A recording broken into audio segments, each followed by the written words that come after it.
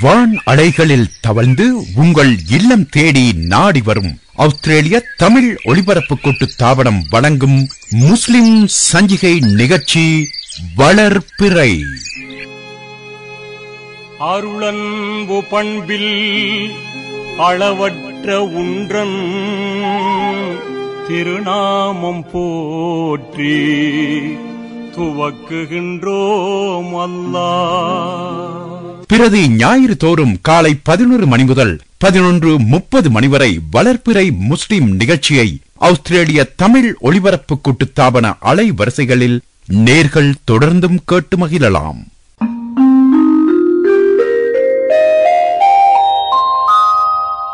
இன்றும் வளர்ப்பிறை நேர்களுக்கு அஸ்லாமு அலைக்கும் என கூறி இன்றைய நிகழ்ச்சியினை ஆரம்பிக்கின்றோம்.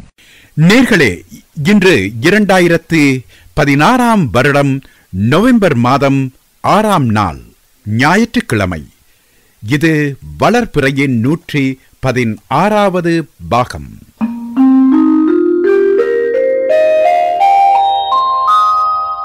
வழமை போல் இன்றும் வளர்ப்பிறை நிகழ்ச்சி கிராத்துடன் ஆரம்பமாகின்றது بسم الله الرحمن الرحيم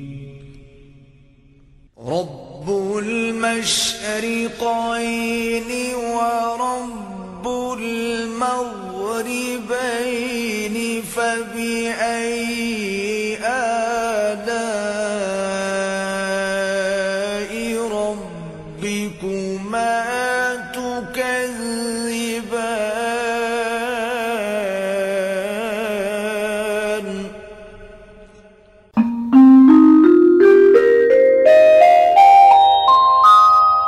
இன்றைய நிகழ்ச்சியை அலங்கரிக்கும் அடுத்த அம்சம் நபிமொழி.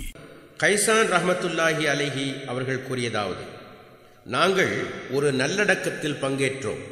அப்போது அபு ரலி அல்லாஹ் அன்ஹு அவர்கள் மர்வானுடைய கையை பிடித்தார். பிரேதம் தரையில் இறக்கி வைக்கப்படுவதற்கு முன் இருவரும் அமர்ந்து விட்டார்கள். அங்கு வந்திருந்த அபு சயீத் ரலியல்லாஹு அன்ஹு அவர்கள் மர்வானின் கையை பிடித்து எழுந்திரும். அல்லாஹின் மீது ஆணையாக நபி சல்லல்லாஹ் அலைஹி அவர்கள் உட்காருவதை தடுத்துள்ளார்கள் என்பதை இம்மனிதர் அபு ஹுரைரா நன்கு அறிந்திருந்தும் இவ்வாறு செய்திருக்கிறார் என கூறினார். உடனே அபு சயீத் உண்மையுரைத்தார் என அபூ ஹுரைரா ரலியல்லாஹு வன்கு அவர்கள் கூறினார்கள்.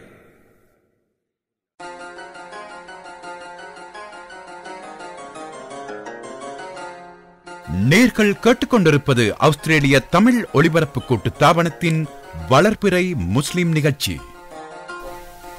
நேர்களே இறுதி வாரம் இலங்கை ஜாமியத்துல் உலமா சபையின் உப தலைவரும் இலங்கை ஜாமியா நலிமியா சர்வகலாசாலையின் இயக்குனரும் பிரபல வானொலி தொலைக்காட்சி நிகழ்ச்சிகளில் தோன்றி அருமையான இஸ்லாமிய உரைகளை இலங்கையிலும் சர்வதேச ரீதியாகவும் நிகழ்த்தி வரும் பிரபல சமய பேச்சாளரும் சமூக சேவகருமாகிய அஷேக் அகார் முகமட் அவர்கள் நுவரேலியா நகரில் இருந்து மாவனல்லை நோக்கி பயணிக்கும் போது நிகழ்ந்த வாகன விபத்தொன்றில் அஷேக் அகார் முகமட் அவர்களின் அன்பு மனைவி சுரையா அவர்கள் வபாத்தான விடயம் அறிந்திருப்பீர்கள்.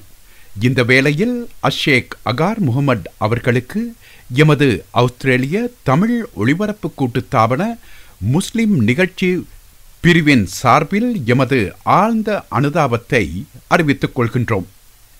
இன்னா இல்லாஹி வா இன்னா இலைகள் ராஜீவ் இன்ஷா அல்லாஹ் எல்லாம் வல்ல இறைவன் அவர்களுக்கு ஜன்னத்துல் பிர்தவுஸ் எனும் சொர்க்கத்தை வழங்கி அருள் புரிவானாக.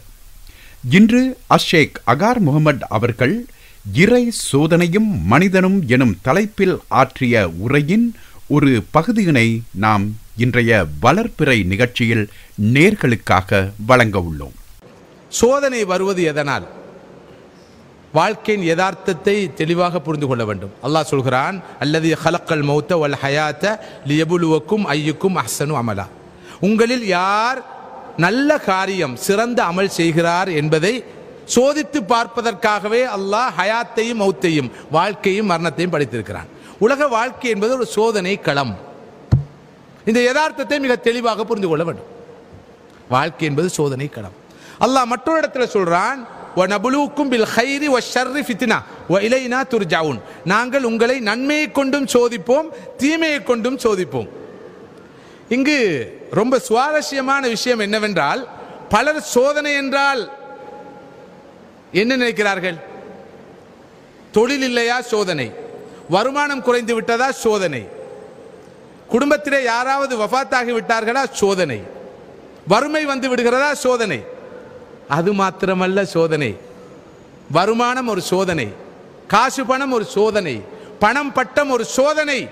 அறிவு ஞானம் ஒரு சோதனை. வாழ்க்கையே சோதனை தான். எனவேதான் அல்லாஹ் சொல்கிறான் நன்மை கொண்டும் சோதிப்போம் தீமையை கொண்டும் சோதிப்போம். இலங்கையில் இருந்தோம் அல்லாஹ் சோதித்தான்.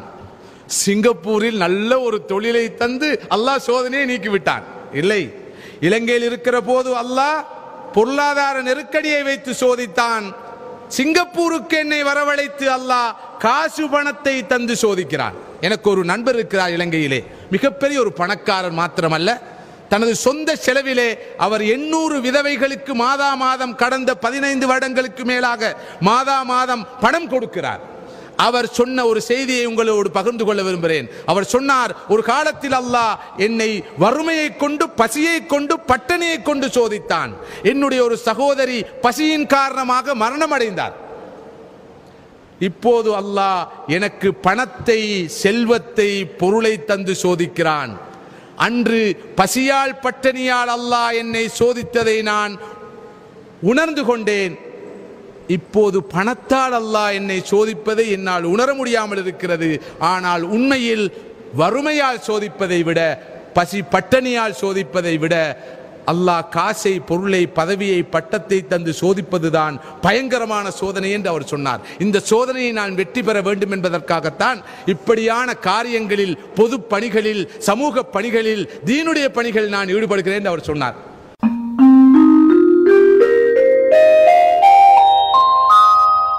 இன்றைய நிகழ்ச்சியில் அடுத்ததாக நேர்கள் கவிதை ஒன்றினை கேட்கலாம். எழுதியவர் திருமதி சுகைதா ஏ. கரீம் வெள்ளவத்தை கொழும்பு.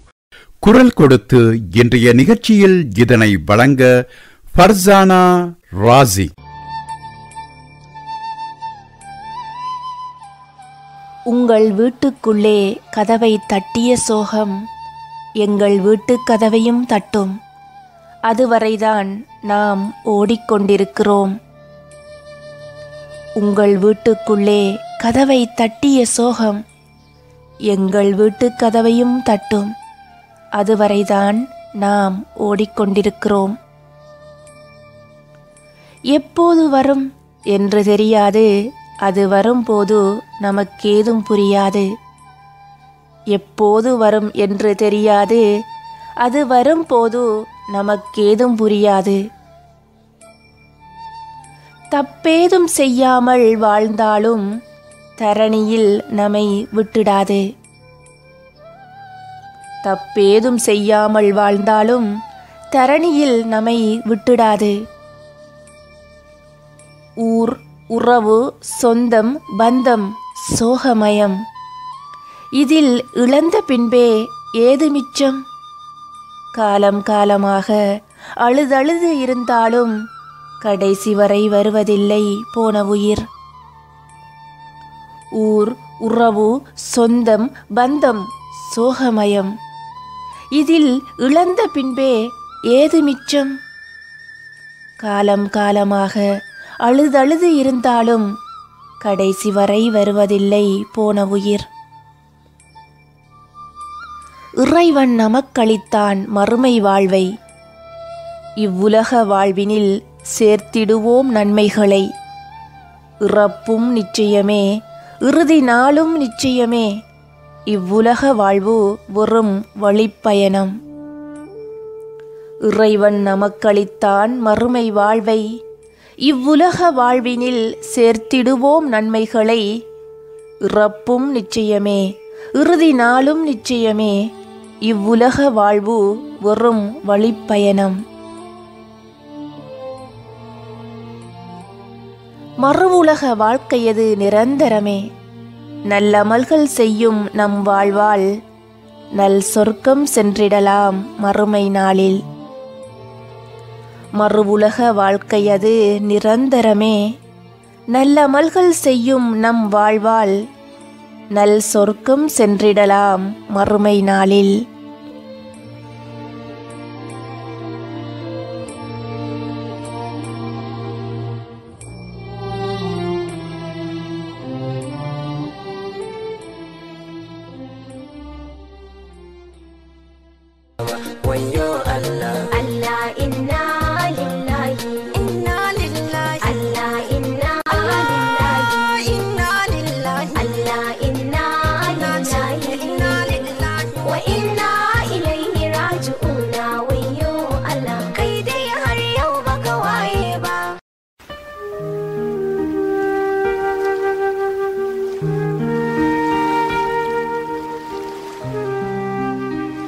இன்றைய வளர்ப்பிறை நிகழ்ச்சியை அலங்கரிக்க அடுத்த பக்கத்தில் படித்ததும் சுவைத்ததும்.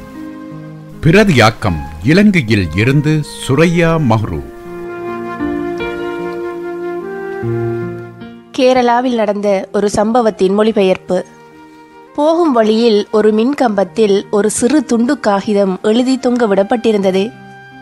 அப்படி என்னதான் அதில் எழுதியிருக்கு என்ற ஆர்வத்தில் நானும் போய் படித்தேன். அதில் என்னுடைய ஐம்பது ரூபாய் தொலைந்து விட்டது.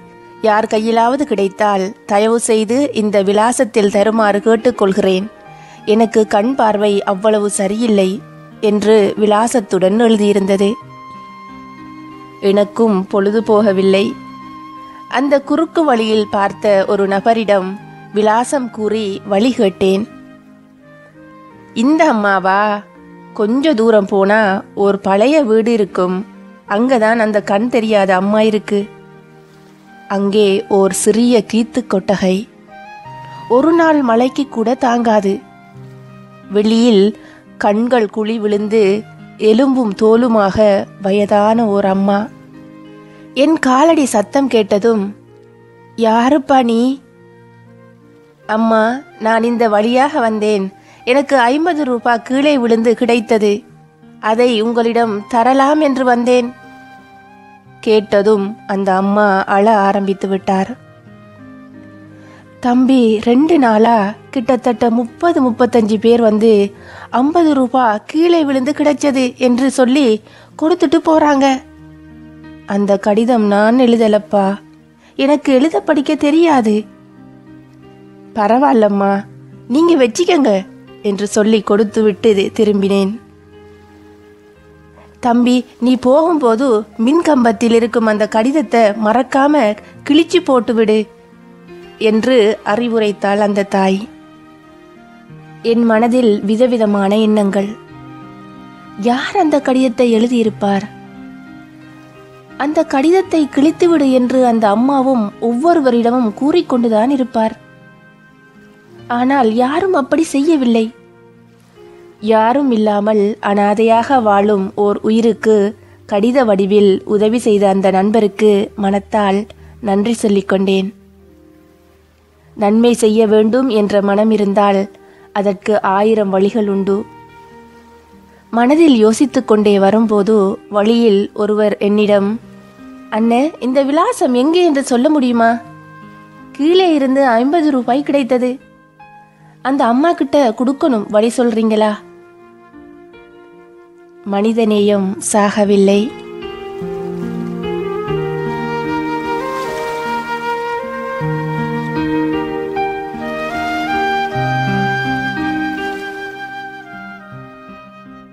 இனி இன்றைய வளர்ப்பிறை நிகழ்ச்சியில் அடுத்ததாக இஸ்லாமிய சிற்றுரை ஒன்றினை நேர்கள் கேட்கலாம். இதனை இன்றைய வளர்ப்பிறை நிகழ்ச்சியில் வழங்க அஷேக் அப்துல் பாஷித் அவர்கள் السلام عليكم ورحمة الله وبركاته إن الحمد لله نحمده ونستعينه ونستغفره ونعوذ بالله من شرور أنفسنا وسيئات أعمالنا من يهده الله فلا مضل له ومن يضلل فلا هادي له واشهد ان لا اله الا الله وحده لا شريك له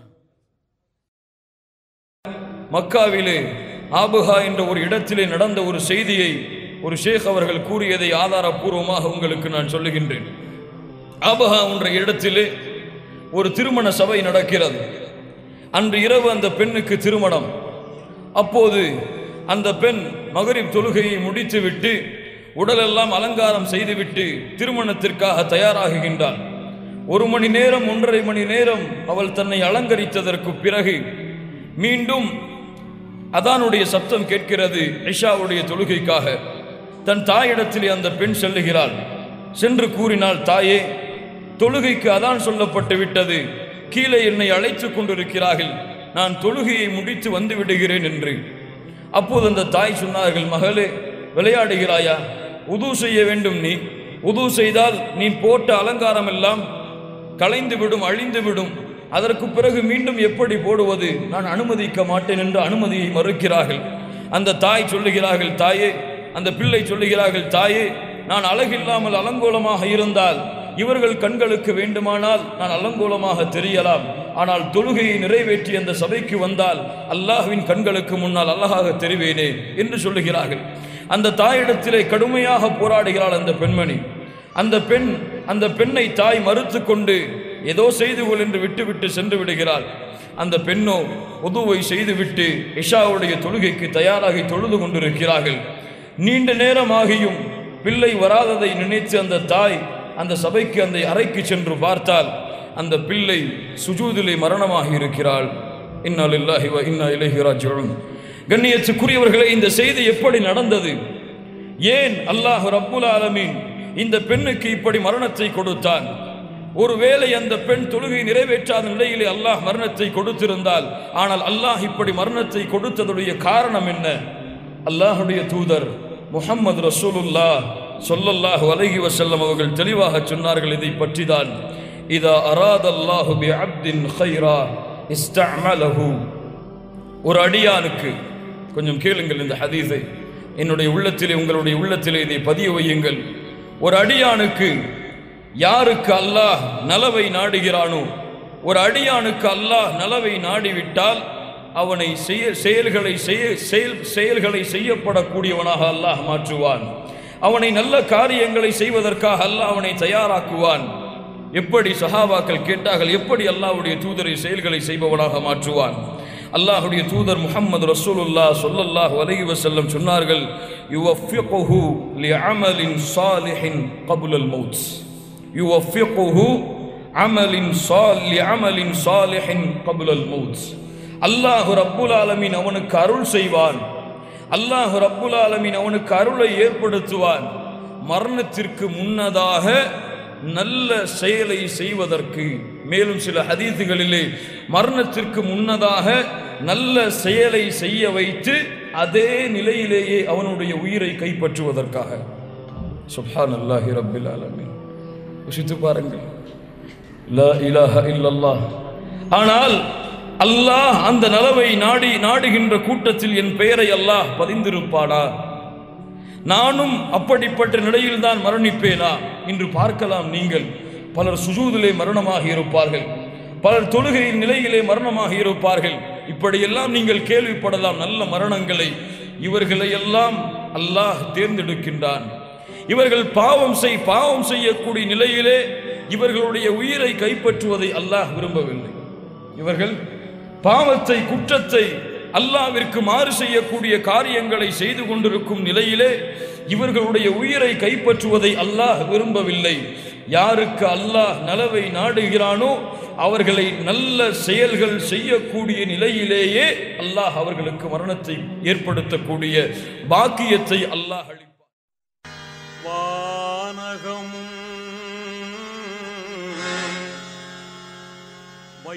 வளர்ப்பிறை நிகழ்ச்சியின் அடுத்த பகுதியில் நேர்கள் மறைந்த நாகூர் எம் ஹனீஃபாவின் இஸ்லாமிய கீதம் ஒன்றினை இப்பொழுது கேட்கலாம்.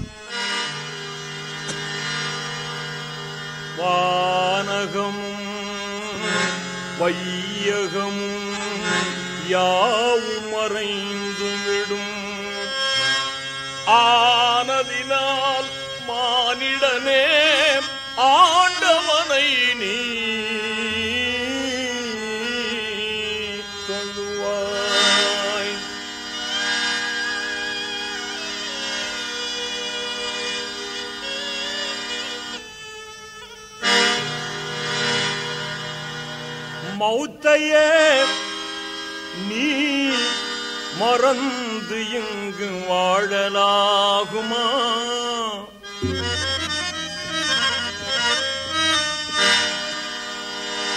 மௌத்தையே நீ மறந்து இங்கு வாழலாகுமா? மாறிடும் வாழ்வினில் மூழ்குதல் நியாயமா?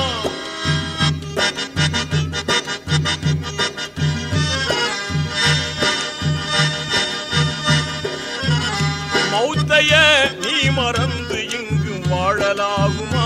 மாறிடும் வாழ்வினில் மூழ்குதல் நியாயமா?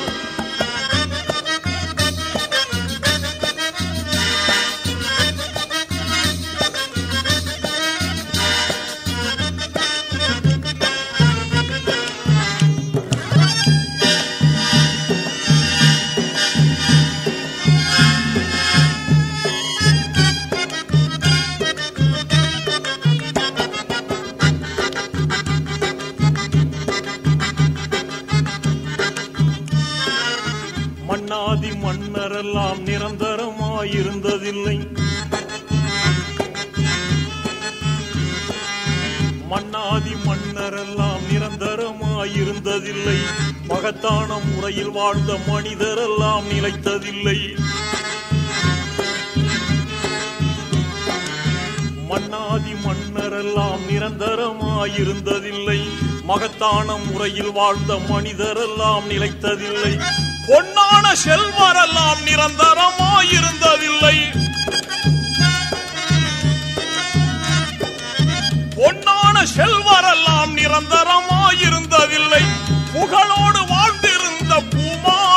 பூமான்கள் இழைத்ததில்லை பூதலத்தில் இந்த நிலை புரிந்திடாமல் பேசுகின்றாய்.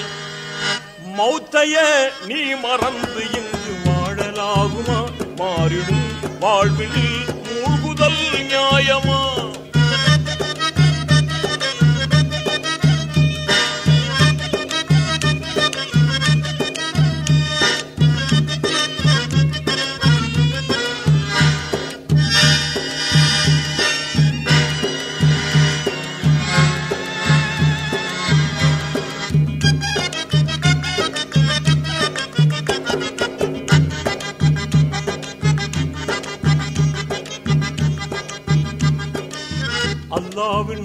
அருட்சுடராம் அண்ணல் தாஹா நபி எங்கே?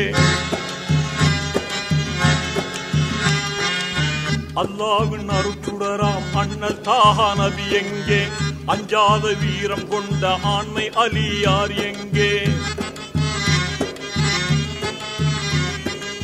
அல்லாவின் அர்ச்சுடராம் அண்ணல் தாஹா நபி எங்கே? அஞ்சாத வீரம் கொண்ட ஆண்மை அலியார் எங்கே? எல்லோரும் போற்றுகின்ற அன்னை பாத்திமா எங்கே? எல்லோரும் போற்றுகின்ற அன்னை பாத்திமா எங்கே? இணையில்லா தியாகிகளாம் இமாம் ஹசன் ஹுசைன் எங்கே? இந்த நிலை உணர்ந்திடாமல் என்னென்னமோ பேசுகின்றாய். மௌத்தையே நீ மறந்து இங்கு வாழலாகுமா? மாறிடும் வாழ்வில் மூழ்குதல் நியாயமா?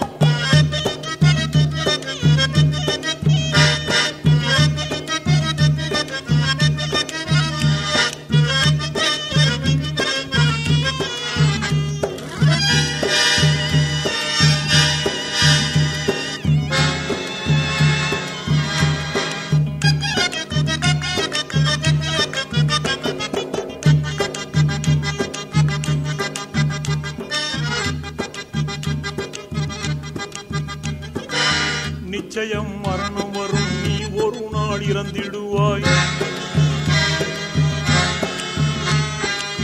நிச்சயம் மரணம் வரும். நீ ஒரு நாள் இறந்திடுவாய். நேசரெல்லாம் அழுத பின்னே நீ சந்தூக்கு ஏறிடுவாய். நிச்சயம்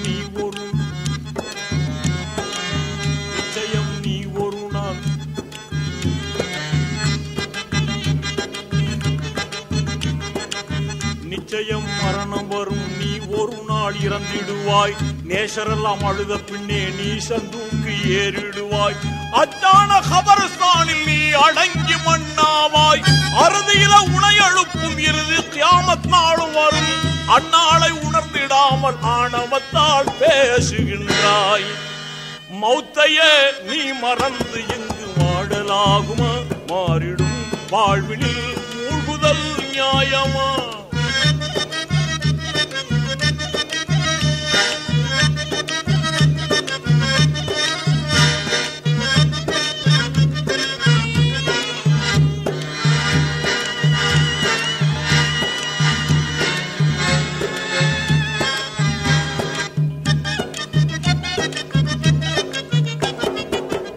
நன்மை தீமை செயல்கள் மீசானில் நிறுக்கப்படும்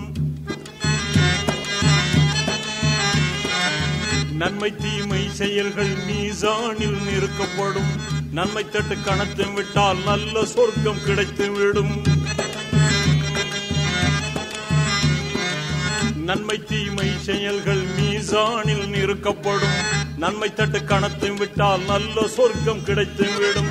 திண்மையடை கூடி தீய நரகம் வீழ்ந்திடுவாய். தீங்கான இந்த நிலை தோன்றிடாமல் தவிர்த்திடுவாய்.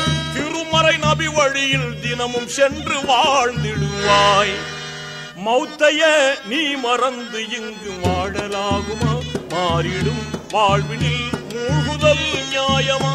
மௌத்தைய நீ மறந்து இங்கு வாழலாகுமா? மாறிடும் வாழ்வினில் மூழ்குதல் நியாயமா? நேர்களே எமது இன கலவரங்களும் இலங்கை முஸ்லிம்களும் நிகழ்ச்சி தொடர் அடுத்த வாரம் முதல் மீண்டும் எமது வளர்பிறை நிகழ்ச்சியில் இடம்பெற உள்ளது. இதுவரையும் இலங்கை முஸ்லிம்களுக்கு பெரும்பான்மை சிங்கள மக்களால் நிகழ்த்தப்பட்ட வன்முறைகள் பற்றி கூறியிருந்தோம்.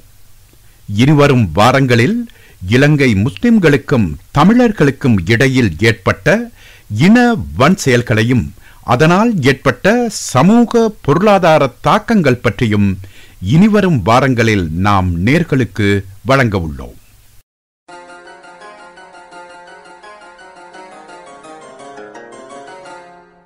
நேர்கள் கேட்டுக்கொண்டிருப்பது ஆஸ்திரேலிய தமிழ் ஒலிபரப்பு கூட்டு தாபனத்தின் வளர்ப்பிறை முஸ்லிம் நிகழ்ச்சி.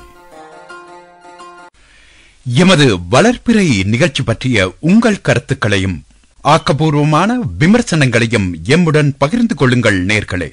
இது எமது வளர்ப்பிறை நிகழ்ச்சியை மேலும் மெருகூட்ட உதவும். உங்கள் விமர்சனங்கள் மட்டுமல்ல உங்கள் தரமான ஆக்கங்களையும் எமக்கு எழுதி அனுப்புங்கள்.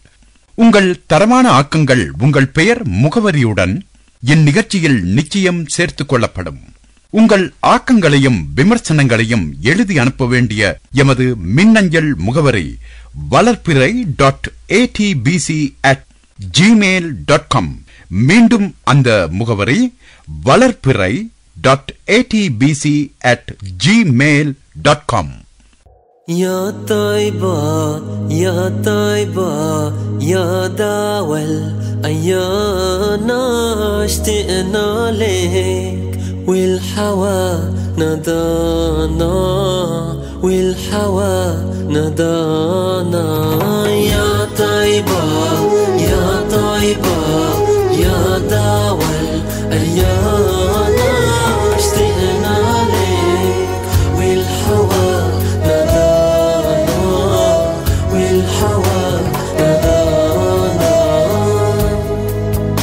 நேர்களே இன்றைய நிகழ்ச்சியின் முடிவாக வரலாற்றில் ஓரேடும் சலவாத்தும் கேட்கலாம். ஒரு நாள் ஒரு ஜனாசா நபி ஸல்லல்லாஹு அலைஹி அவர்களை கடந்து கொண்டு செல்லப்பட்டது. அப்போது நபி அவர்கள் அவர் ஓய்வு பெற்றவராவார் அல்லது ஓய்வு அளித்தவராவார் என்று கூறினார்கள். மக்கள் அல்லாஹுவின் தூதர் அவர்களே ஓய்வு பெற்றவர் அல்லது ஓய்வு அளித்தவர் என்றால் விவரம் என்ன? என்று கேட்டார்கள். இறை நம்பிக்கை கொண்ட அடியார் இறக்கும்போது இவ்வுலகத்தின் துன்பங்களிலிருந்து அவர் ஓய்வு பெறுகிறார். பாவியான அடியான் இறக்கும்போது அவனுடைய எல்லாவிதமான துன்பங்களிலிருந்தும் மற்ற அடியார்கள் நாடு நகரங்கள் மரங்கள் மற்றும் கால்நடைகள் ஆகிய அனைத்தும் ஓய்வு பெற்று நிம்மதி பெறுகின்றன என்று விளக்கம் கூறினார்கள் அல்லாஹுவின் தூதர் நபி சல்லாஹூ அலஹி வசல்லம் அவர்கள். ஆதாரம் சஹீஹுல் முஸ்லிம். الصلاة والسلام عليك.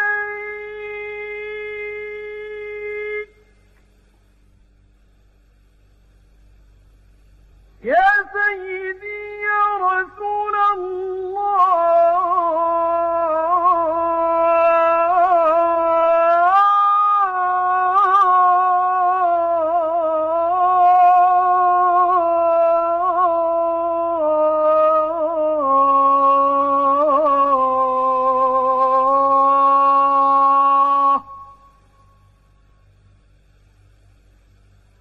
والسلام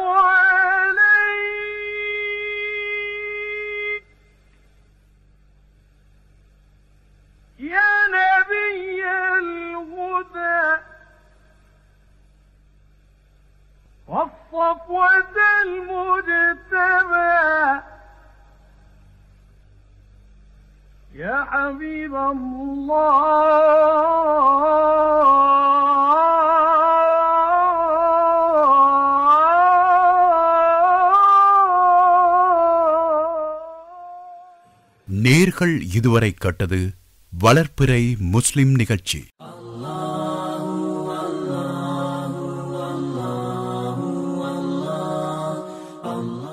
நேர்கள் இதுவரை கேட்டது ஆஸ்திரேலிய தமிழ் ஒளிபரப்பு கூட்டு தாபனத்தின் முஸ்லிம் நிகழ்ச்சி பிரிவு வழங்கிய வளர்ப்பிறை முஸ்லிம் சஞ்சிகை நிகழ்ச்சி. மீண்டும் இன்னுமோர் வளர்ப்பிறை நிகழ்ச்சி ஒன்றில் சந்திக்கும் வரை இன்றைய நிகழ்ச்சி தயாரிப்பு மற்றும் தொழில்நுட்பத்தில் உதவிய மெல்பர்னில் இருந்து முகம்மது முஹசின் யூனுஸ் முஹசின் ஆகியோர்களுடன். எல்லா புகழும் இறைவனுக்கு. அல்லாஹ் ஒருவனே துணை நமக்கு. துணை நமக்கு. என்று கூறி விடைபெறும் உங்கள் அன்பின் நான் ஏ ஜே ஷஹீம். அஸ்ஸலாமு அலைக்கும் நேர்களே. الله الذي يهدينا جميعا. الله الذي نعتز